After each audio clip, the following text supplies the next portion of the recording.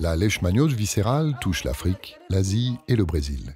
En Afrique, il existe un test rapide pour diagnostiquer la leishmaniose viscérale. Pour être sûr du diagnostic, il faut un test sérologique ou une ponction de la rate ou de la moelle osseuse.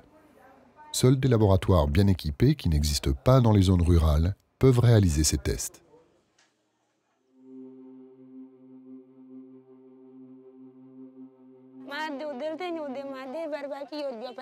J'ai découvert que mon enfant était malade parce que toutes les nuits, il avait de la fièvre et vomissait. Nous l'avons emmené à l'hôpital de Hadong. Et c'est quand il a été envoyé à Malakal qu'on a découvert qu'il avait le Kala-Hazar. Depuis 2010, une thérapie de 17 jours associe deux traitements, les sels d'antimoine et la paromomycine. En diminuant de moitié la durée du traitement, on a allégé le fardeau qui pèse sur les patients, le personnel et les structures de santé. Les personnes gravement malades ou âgées et les femmes enceintes reçoivent un traitement différent car les sels d'antimoine donnent de mauvais résultats et augmentent le taux de mortalité.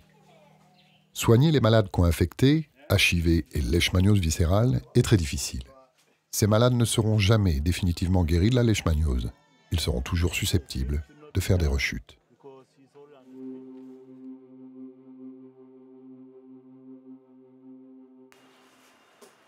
En Asie, la leishmaniose est plus facile à diagnostiquer et à traiter.